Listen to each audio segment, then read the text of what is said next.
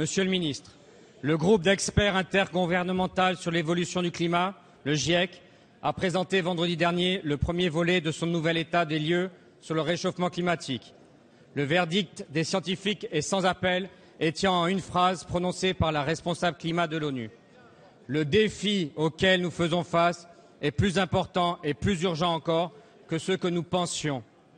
Ainsi, il ressort des études scientifiques que les engagements pris à ce jour sont insuffisants pour atteindre l'objectif d'une limitation du réchauffement de la planète à 2 degrés. Il s'agit là d'un enjeu considérable.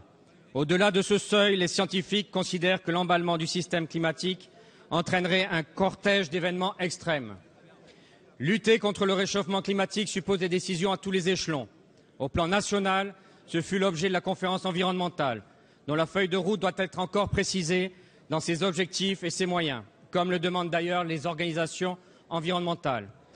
De même, l'Union européenne doit proposer un nouveau dispositif pour 2030, comportant des objectifs contraignants, non seulement sur les gaz à effet de serre, mais aussi sur l'efficacité énergétique et les renouvelables. Pour ce qui est de la gouvernance mondiale, le rendez-vous de la conférence de Paris en 2015 est incontournable.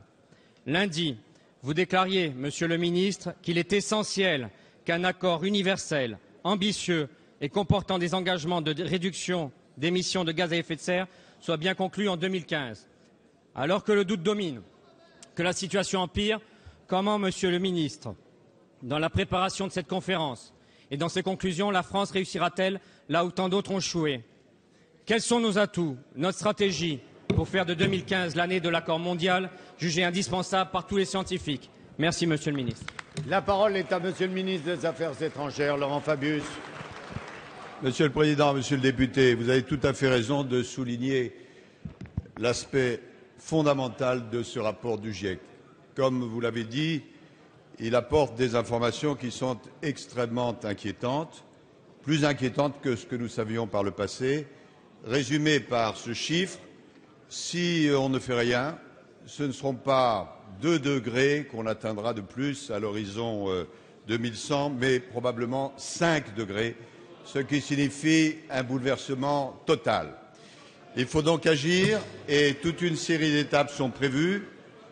Dans quelques jours, une conférence à Varsovie au niveau international. L'année prochaine, à Lima et une réunion générale des Nations Unies sous la présidence de Ban Ki-moon.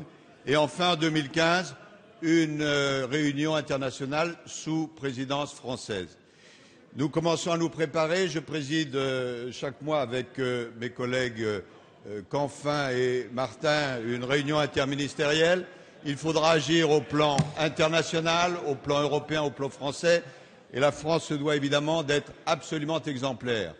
Ce dont il s'agit, mesdames et messieurs les députés, c'est de faire en sorte que, puisque le dérèglement climatique a été causé par l'homme, maintenant c'est incontestable, qu'il puisse être réparé aussi par l'homme.